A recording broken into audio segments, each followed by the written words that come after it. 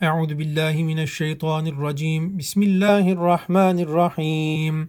Ve ma enfaqtum min nefaqatin ev nedertum min nedrin fe innallaha ya'lemuh وما للظالمين من أنصار إن تبدوا الصدقات فنعما هي وإن تخفوها وتؤتوها الفقراء فهو خير لكم ويكفر عنكم من سيئاتكم والله بما تعملون خبير ليس عليك هداهم ولكن الله يهدي من يشاء وما تنفقوا من خير فلأنفسكم وما تنفقون إلا ابتغاء وجه الله وما تنفقوا من خير يوفى إليكم وأنتم لا تظلمون للفقراء الذين يحصروا في سبيل الله لا يستطيعون ضربا في الأرض يحسبهم الجاهل أغنياء من التعفف تعرفهم بسيماهم لا يسألون الناس إلحافا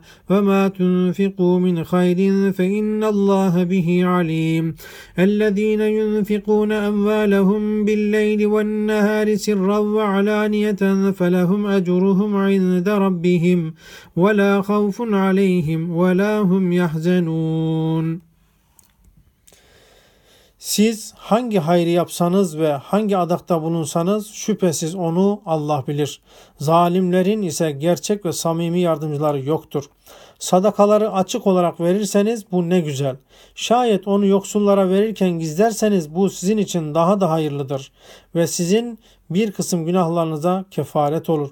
Allah yaptıklarınızdan haberdardır. Onları doğru yola iletmek senin üzerine borç değildir. Fakat Allah dilediğini doğru yola iletir. Hayır için yaptığınız her harcama kendiniz içindir. Verdiklerinizi ancak Allah rızası için verirsiniz. Hayır için yaptığınız her harcamanın karşılığını da hiçbir haksızlığa uğramaksızın tam olarak alacaksınız. Kendilerini Allah yoluna adayan, bu yüzden seyahat ve ticarete imkan bulamayan yoksullara verin. Yoksulluklarını gizli tuttukları için bilmeyen onları zengin sanır.